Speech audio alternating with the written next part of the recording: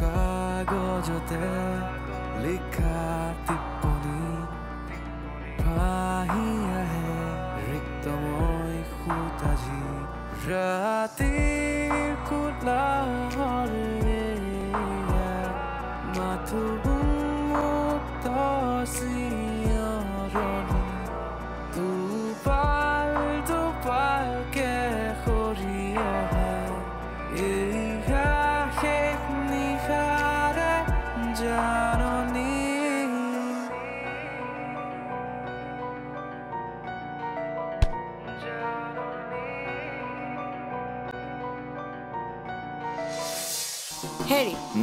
সুকন্যাই গম পাইছেনে নাই? সি যে এবাৰ বিয়া পতা? তাই সেইবোৰ গম নাপায় তই চিন্তা কৰি নাথাকিবি এইবোৰ কথা। কিন্তু আমাৰ সুকন্যাকে কিয়? তেওঁলোকে জানে আমাৰ সুকন্যাৰ জন্ম পত্ৰিকাত বোলে কিবা এটা বিশেষ আছে যিটো তেওঁলোকে বিচাৰি ফুৰিছে। কেৱল তই এইটো কথাই পাহৰি যাব লাগিব যে এইখন তোৰ দ্বিতীয় বিবাহ। বৰ্ণালীৰ কোনো কথাই যাতে তহঁত দুটাৰ সম্পৰ্কৰ মাজলৈ নাহে সেইটো কিন্তু চাবি। সি কিবা ভূত প্ৰেতৰ লগত কথা পাতে। সি হেনো ঘৰতে কিবা গোপন সাধনা কৰে। তাৰ আগৰ পত্নীজনীকো কোনোবা অতৃপ্ত আত্মাই হেনো হত্যা কৰিছে।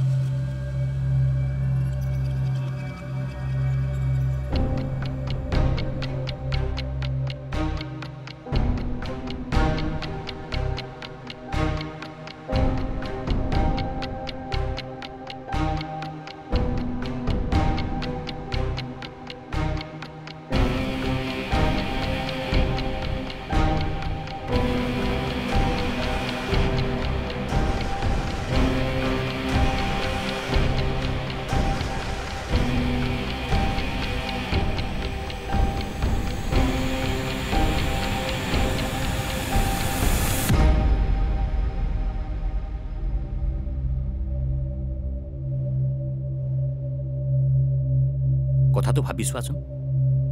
প্ৰণয়ৰ দৰে ল'ৰা এটাই তোমাৰ দৰে গাঁৱৰ ছোৱালী এজনীক বিয়া পতাৰ কথা কিয় ভাবিলে?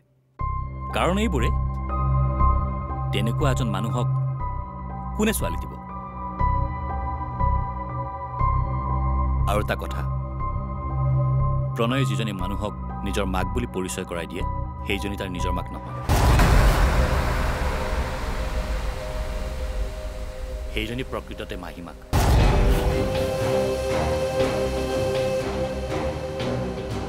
আৰু ঘৰত যে ভনীয়েক এজনী আছে সেইজনী সেই মাহীমাকৰ সন্তান।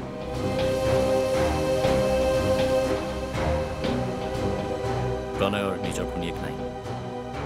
প্ৰণয়ৰ দেউতাকৰ সন্তানো নহয়। ঘৰখনত বহুত খেলি মেলি আছে। সেইকাৰণে মই তোমাক কৈছোঁ বিয়া নহ'বা। শান্তি নাপাবা।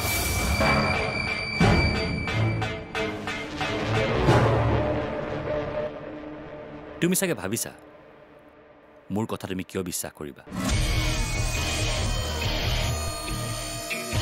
তোমাৰ খুৰা খুৰীয়ে চাগে তোমাক কৈছে এইখিনি সময়ত তোৰ বিয়া ভাঙিবলৈ বহুতে কিবা কিবি। ক'ব তই কিন্তু কাৰো কথাতে বিশ্বাস নকৰিবি। তোমাৰ জীৱনৰ নিৰাপত্তাৰ কাৰণে মোৰ কথা বিশ্বাস কৰা।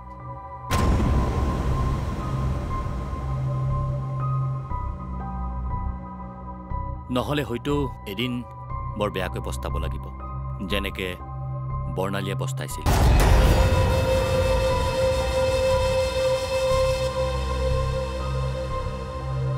আহোঁ দিয়া।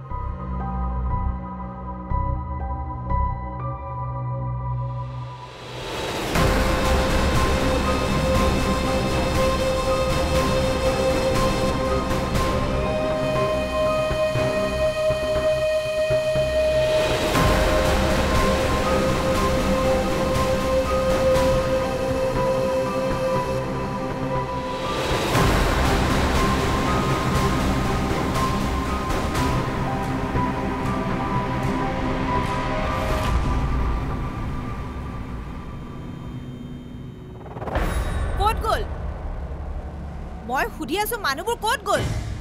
মোৰ ছোৱালীৰ লগত ন্যায় নহওঁতেই কেনেকৈ হ'ব পাৰে এই বিয়া?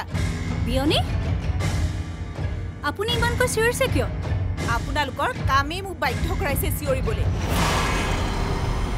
এইখন ঘৰতে মোৰ ছোৱালীজনী ৰহস্যজনকভাৱে মৃত্যু হৈছিল। সেই ৰহস্যৰ ফাদিল নহওঁতে কেনেকৈ পাতিব পাৰিলে প্ৰণয়ে নতুন সংসাৰ? আপুনি কিনো মূৰ্খৰ নিচিনাকৈ একেটা কথাকে কৈ আছে? ডক্টৰে কৈছে নহয় হাৰ্ট এটেকত মৃত্যু হৈছে বুলি। আৰু ডেথ চাৰ্টিফিকেটতো সেয়াই লিখা আছে। তাৰ পাছতো আপুনি কিয় বুজি পোৱা নাই? মই বিশ্বাস নকৰোঁ। মই জানো তাইক কোনোবাই হত্যা কৰিছে।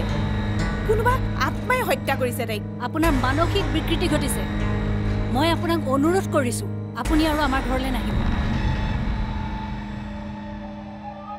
পাগলক অনুৰোধ নকৰে নহয়।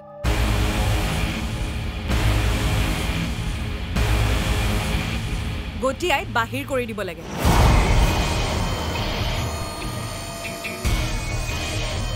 যাওক ঘৰলৈ যাওক। একচুৱেলি ভুল আমাৰে। আপোনাৰ ছোৱালীক এইখন ঘৰত আমি বোৱাৰী কৰি আনিলোঁ। মাক যেনেকুৱা পাগল ছোৱালীও তেনেকুৱাই পাগল আছে। মোৰ ছোৱালী পাগল নাছিল।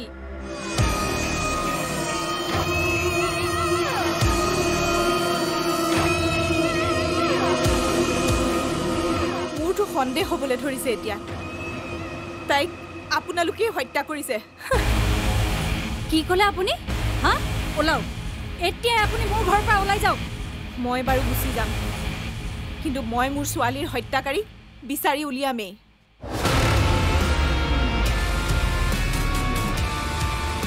কথা দিলোঁ মই আপোনাক।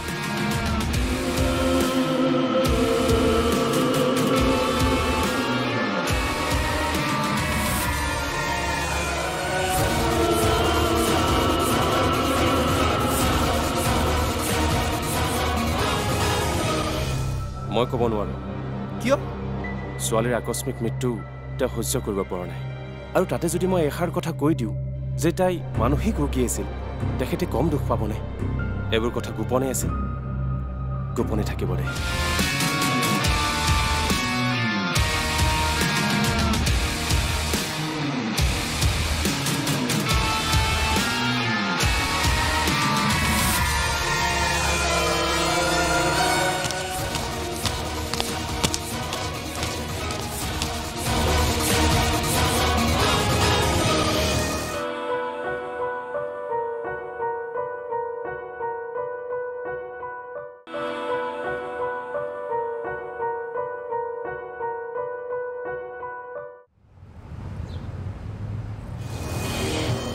তই আকৌ কিহৰ টেনশ্যন লৈছ? তই যি ডিচিশ্যন লৈছ ভালেই ডিচিশ্যন লৈছ। হৈ যাব দে বিয়াখন ছোৱালীজনী বৰ ভাল। আৰু আজিৰ যুগত এনেকুৱা ছোৱালী মই বিচাৰি উলিয়াইছোঁ। গতিকে তই মোক থেংক ইউহে ক'ব লাগে। নহয়। বৰ্ণালীৰ মাক দেউতাকে মোক বহুত মৰম কৰিছিল। মাকে মই দ্বিতীয় বিবাহ কৰোৱাটো বিচৰা নাই। হেই বেলেগৰ কথা চিন্তা কৰা বাদ দে। তই নিজৰ কথা চিন্তা কৰ। আচ্ছা তই গোটেই জীৱন অকলে পাৰ কৰিবি নেকি? মই এটা কথা সকলোৰে পৰা লুকুৱাই ৰাখিছিলোঁ। কি কথা? নিজৰ পত্নীৰ দুৰ্বলতাৰ কথা মই সমাজৰ পৰা লুকুৱাই ৰাখিব বিচাৰিছিলোঁ। বৰ্ণালী মানসিকভাৱে সুস্থ নাছিল। তাই এটা মানসিক ৰোগত ভুগি আছিল। মই তাইৰ ট্ৰিটমেণ্টটো কৰাই আছিলোঁ মনে মনে। কি? তাই যে ভূত প্ৰেত দেখা বুলি কৈছিল সেইবোৰ তাইৰ মনৰ সৃষ্টি আছিল। তেনেহ'লে তই মাকক কথাবিলাক কৈ নিদিয়ে কিয়? বিনা কাৰণত মানুহজনীয়ে চাৰিওফালে গাই ফুৰিছে জীয়েকক হেনো কোনোবাই আত্মাই হত্যা কৰিছে। মই ক'ব নোৱাৰোঁ। কিয়? ছোৱালীৰ আকস্মিক মৃত্যু তেওঁ সহ্য কৰিব পৰা নাই। আৰু তাতে যদি মই এষাৰ কথা কৈ দিওঁ যে তাই মানসিক ৰোগী আছিল তেখেতে কম দুখ পাবনে? এইবোৰ কথা গোপনে আছিল। গোপনে থাকিব দে।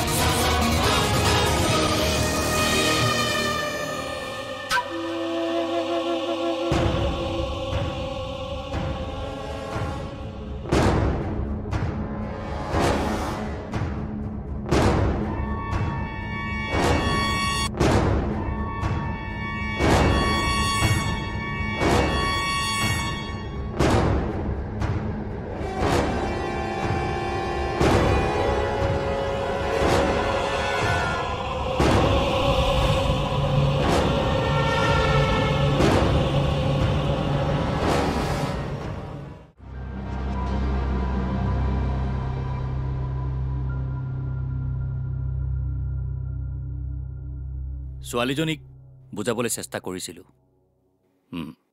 কিন্তু নুবুজিলে। আজি হেনো বিয়া।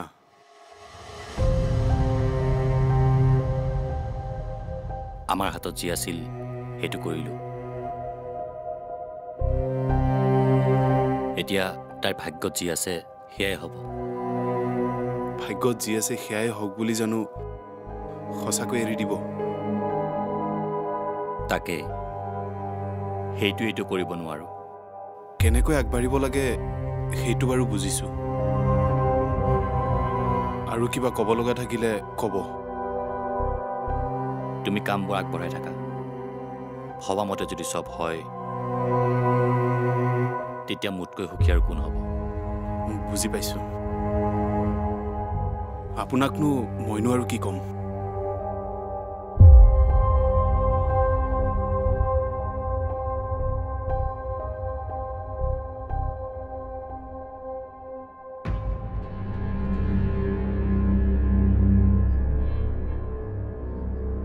আপুনি সেইখন ঘৰলৈ পুনৰ যাব নালাগিছিল।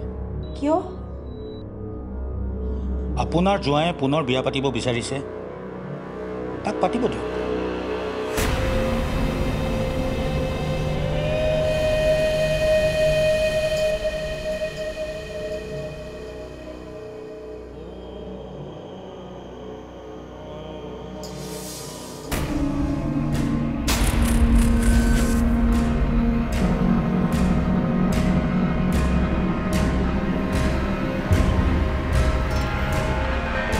হেনো বিনা কাৰণতে জ্বলা নুমা কৰি থাকে।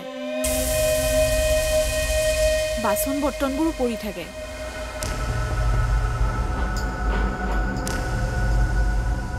আৰু বহু কথাই কৈছিল তাই মোক।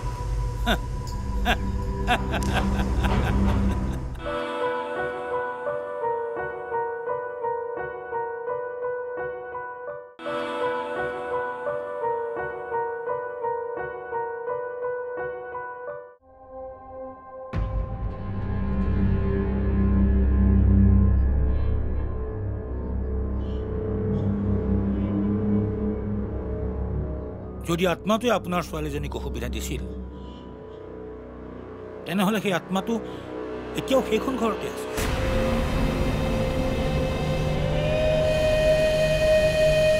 অঁ বৰ্ণালীয়ে মোক মাজে মাজে কৈছিল তাই এনেকুৱা অনুভৱ হয় তাইৰ পিছফালে হেনো কোনোবা থিয় হৈ থাকে। ঘূৰি চালে কাকো নেদেখে। তাইৰ ৰুমৰ লাইটবোৰ হেনো বিনা কাৰণতে জ্বলা নুমা কৰি থাকে। বাচন বৰ্তনবোৰো পৰি থাকে।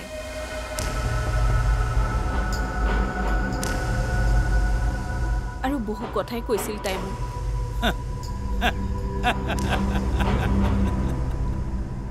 আৰু এই আত্মাৰ কথাবোৰ যদি সঁচা হয় আপোনাৰ ছোৱালীৰ দৰে নতুনকৈ অহা বোৱাৰীজনীকো সুবিধা দিব।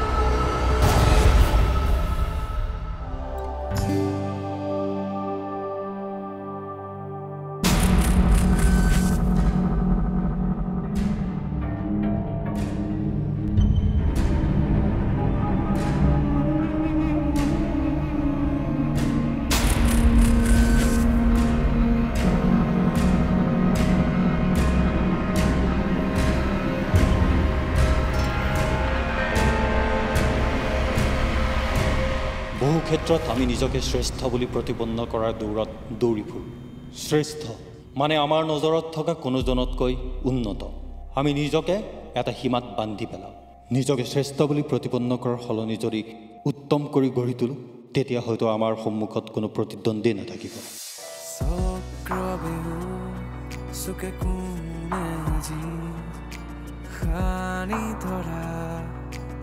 আদৰুৱা সৰা পাতত আজি তেজাৰ ছবি মলিন আকাশত মেঘৰ শিৰণি ৰাতিৰ